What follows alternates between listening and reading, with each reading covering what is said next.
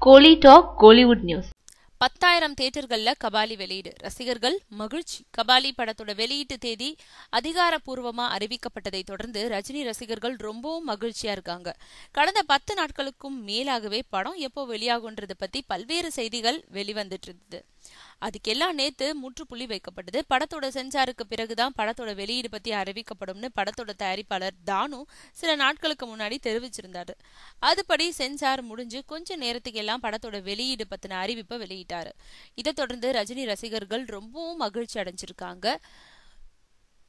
நேத்து மாலையில இருந்து இப்போ வரைக்கும் எல்லா ஊடகங்கள்லயும் சமூக வலைதளங்கள்லயும் கபாலி பத்தின செய்திகள் தான் ஆக்கிரமிச்சிருக்கு.